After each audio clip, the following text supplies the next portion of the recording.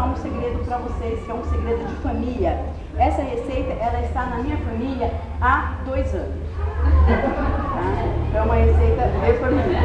Então, não importa o tempo que ela está na família, mas é uma receita de família que eu vou é, participar aqui com vocês, tá certo?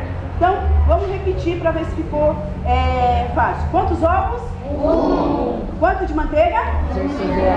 Quanto de açúcar? Um copo. Quanto de farinha?